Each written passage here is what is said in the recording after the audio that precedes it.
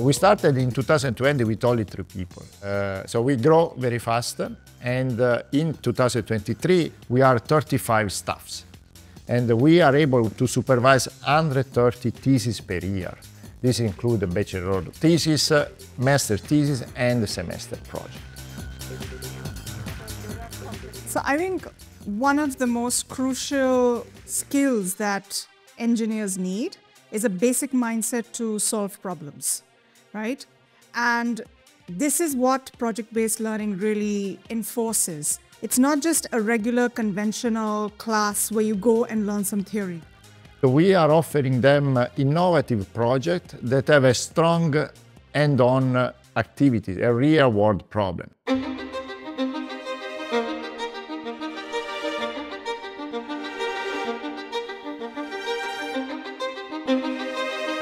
To improve the theoretical skills applied in a practical world, we launched 15 new project and seminar bachelor courses. And they're really looking forward to apply their knowledge in, in hands-on projects.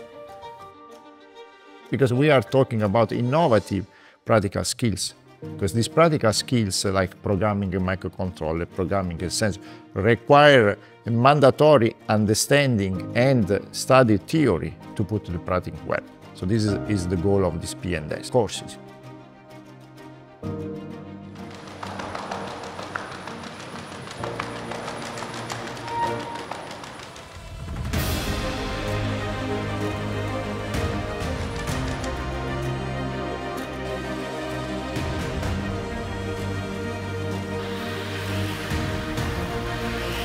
Nice.